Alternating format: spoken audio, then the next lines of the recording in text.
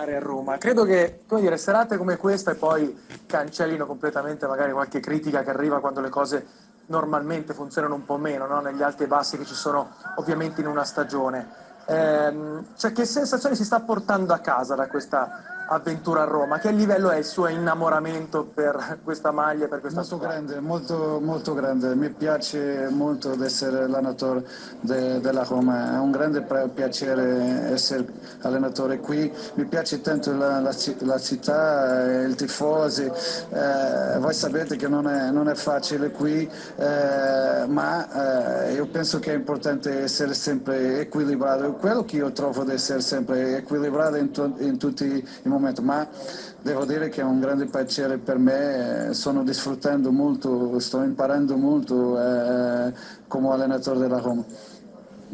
Complimenti ancora Fonseca, in bocca al lupo eh, per il Grazie resto della mille, stagione. grazie mille, arrivederci. Anche